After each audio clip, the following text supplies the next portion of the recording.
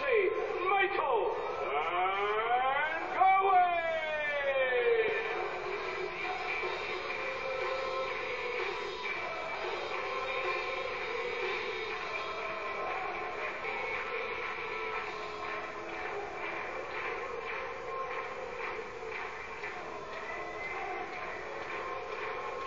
Michael van Gerven, der erfolgreichste Spieler in diesem Jahr 2013, hat zwölf Turniere in diesem Jahr gewonnen, unter anderem die Premier League. Und er hatte mal eine Serie im Mai, als er 27 Matches in Folge gewann. Der war eine Zeit lang wirklich nicht zu bezwingen.